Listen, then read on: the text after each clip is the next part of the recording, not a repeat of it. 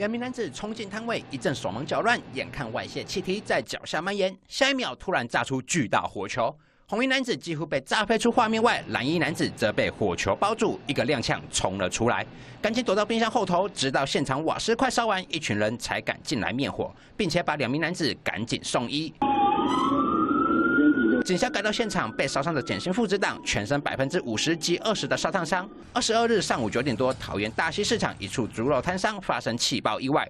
从监视器画面可以看到，一名女骑士从摊位旁边发动机车准备离开，不料机车勾到一旁帆布，拉扯到瓦斯管线，导致管线脱落外泄。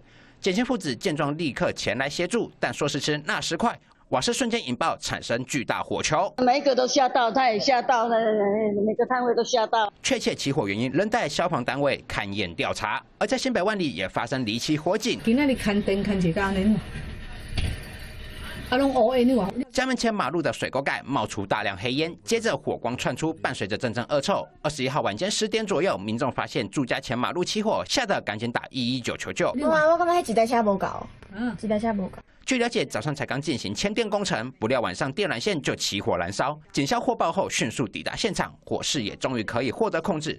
而台电人员表示，本次酿灾电缆并非台电所属，可能是电信业者或是第四台，因此详细起火缆线所属仍待厘清。记者朱丁龙、刘志展、李维综合报道。我是方艳迪，主播工作让我学习倾听所有人的意见，也要保留自己的判断。也许我们无法踏遍所有土地，但能从新闻里看尽每一道风景。我是方艳迪，请您锁定中视 YouTube 频道，记得要按赞、订阅、分享，开启小铃铛哦。